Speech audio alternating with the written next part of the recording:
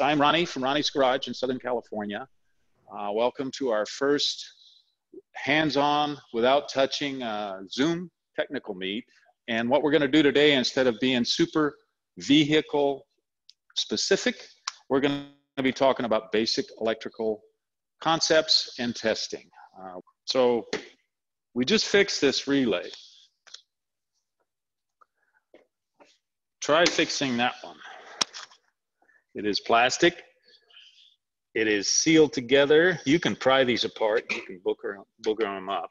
But I'm gonna challenge every one of you, if you really want to get rid of the Prince of Darkness, then you can go to Bosch. Okay.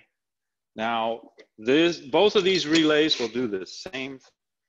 These relays come in many kind of configurations. This is just a normal, I don't believe this is a complicated one.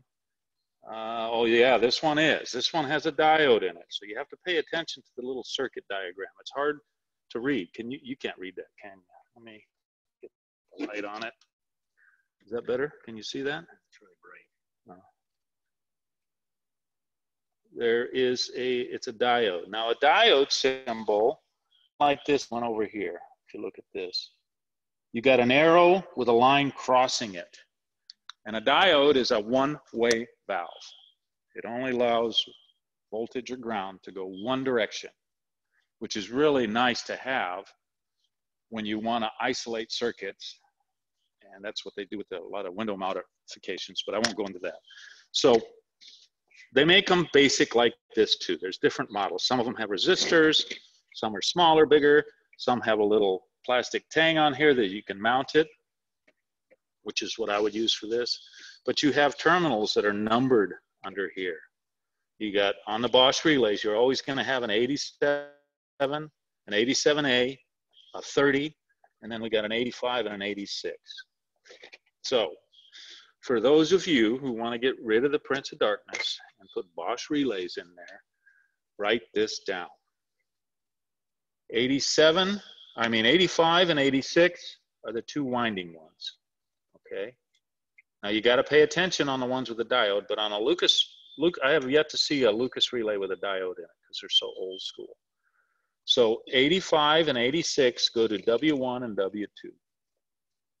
Write that down. And then 30, what happens is on this relay, let's see if this one works. Now you wonder, why would I wanna do that? Okay, that relay's working. So what happens is Lucas makes this basic same relay in different configurations with the bracket. Um, the new ones come with a seal and it's all sealed up so moisture can't get in there. Uh, the Bosch relays are typically that most of the cars went to Bosch relays. So that should tell you something. Not that they don't ever have problems, but um, this relay right here probably costs you about 70, 80 bucks. This relay right here probably costs you about 10. So there's a motivation right there to, to upgrade, is what they call it. And on the shadows, especially the Shadow 2s, they use three of these relays to make the windshield wipers work. Okay?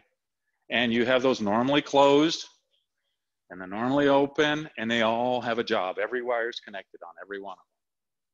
So a lot of times the wipers won't turn off. Even the spirits and spurs will do that, but they have these relays. Sometimes the wipers won't turn off. Sometimes they'll get stuck. They do all kinds of things. First thing I always do is just swap the three, three relays. There's three of them. Put all new relays on and see what happens. And nine to nine and a half times out of 10, that will fix the problem. So if you've got a shadow, you don't want to spend $200 on three relays you can convert them to the Bosch relays. And I'm going to show you the circuitry for that. So let's just make sure that this relay works. We know that it activates. The, the C2 on this one is the feed for both of these. Remember, one is closed when it's not activated, and the opposite when it's activated, and vice versa over there. So C2 corresponds to 30 Bosch relay. Okay? So that's the same as C2 on this relay. So Ronny, Bill says, it looks like positive to C2, which other terminal? I think you may have just answered that. Though. Well, I'm putting positive to it, but some circuits feed ground there. So remember that, it depends on the circuit.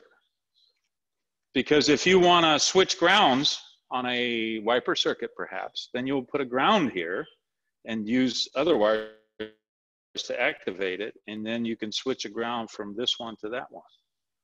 So don't be, don't just think it's positive. Just remember that C2 corresponds with 30. So here's the one that I recommend for this wiper relay conversion. You see it has a basic circuit. You don't see any diodes or resistors in there. It has a mounting tang, so you can just mount it where this was. Uh, it is a Bosch. Write this down. It's a 0, 332, 209, 150. This is what I use for all the wiper conversion. Readily available?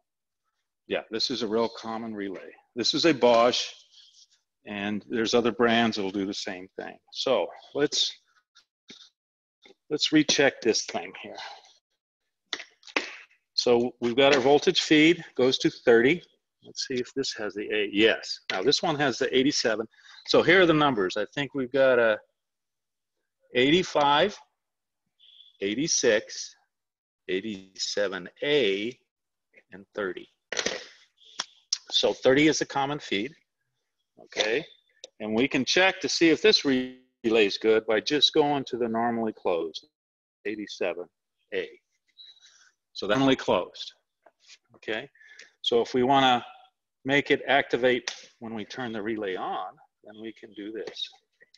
So we're at the 87 terminal and we hook up our winding wires and we'll just activate it. See that?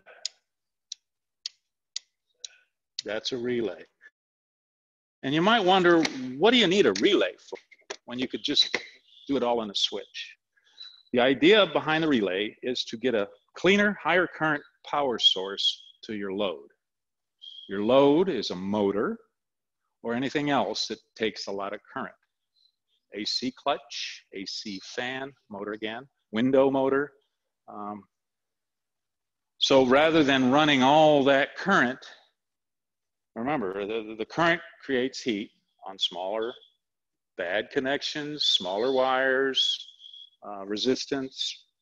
Uh, that way you can get a cleaner power source close to the wiper motor. That's why these relays are out right by the wiper motor so that you don't have to run all the current through the wiper switch and the wiper intermittent control and all that kind of stuff that come along with it. You can take your relays apart and remember, this is the important part, don't forget where the wires go.